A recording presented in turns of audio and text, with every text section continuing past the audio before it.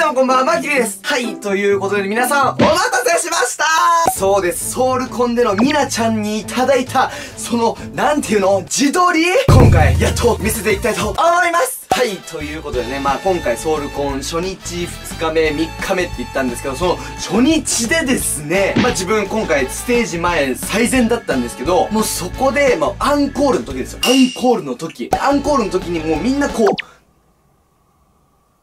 スマホを渡していくんですよ。で、だいたい1人に対して何人ぐらいなのかな？もう5人とか10人いかないぐらい、なんかメンバーがそのアンコール鳴ってる間にこう動画を撮ってくれたりとか、日だけしてくれてたんですけど、僕もそれ必死にやったわけですよ。ももちゃんが来ては、ももちゃんかなちゃんが来ては、すなちゃんみたいな感じでこうやってたんですけど、もう黒さんも撮ってもらったりとか、他のもうちょっと先の全く知らないファンの人を撮ってもらったりとかしてて、でもほぼほぼ後半なのかな？後半ぐらいで、みなちゃんが前に来て、あ、みなちゃん来たと思った瞬間に、みなちゃん！みたいな。そしたらみなちゃんが気づいてくれて、あ、マーキリーみたいな感じになって、でも、周りは自撮り棒。それをね、こうみんな伸ばしてるわけですよ。うわ、絶対自撮り棒の人行くやんって思ったんですけど、みなちゃん、目あって、マーキリーって気づいて、あ、もうもうその瞬間にもうみなちゃんに懇願ですよ。みなちゃん、お願いしますみなちゃん、お願いしますみたいな感じなんですよ。でも自分はさ、これしか持ってないわけよ。自撮り棒なんてつけてない。もうもう周りから自撮り棒ガンガン出てるわけ。もうバーみたいな感じで。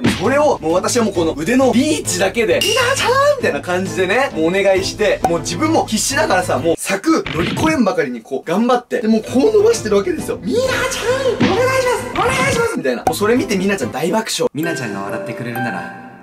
それでいい。気持ち悪いおい。もうみなちゃんも出てる自撮り棒を避けて、わざわざ自分のね、これをね、ステージ、しゃがんで手伸ばして、撮ってくれてもうねありがとうもうね、早速見せますよ。3、2、1、どうぞ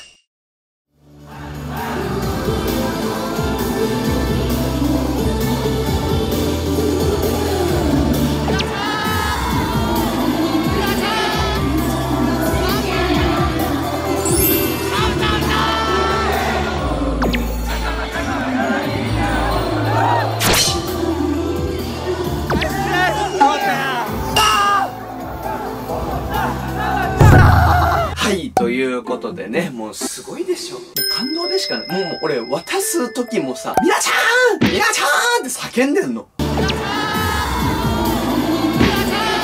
で、もうみなちゃんも僕たちの方を取った状態で撮ってくれたんですよ。なんか他の人とか、黒さんとかそうだったと思うんですけど、もう大体こう、ステージの方を向いて、もう自分を撮るみたいな感じで大体こう、撮ってくれてたと思うんですけど、みなちゃんなんだろう？私が YouTuber だからっていうことを分かってなのか、ちゃんと横向きで撮ってくれるっていうね。YouTuber からしたらもうありがたい。もう縦だとさ、周りがちょっともったいないじゃないですか。画面いっぱいにみなちゃんいてで自分たちもいてみたいな。もうね、みなちゃんありがとうございますもうハイタッチ会の時もね、最初に言ったもんね。みなちゃんありがとうね、ソウルコの時自撮り撮ってくれてって言ったら、あー全然いいよみたいな。ちゃんと私のを撮ってくれたっていうのもちゃんとみなちゃんも覚えてくれてて。だから、とうとう俺衝撃的な懇願の仕方してたんだろうね。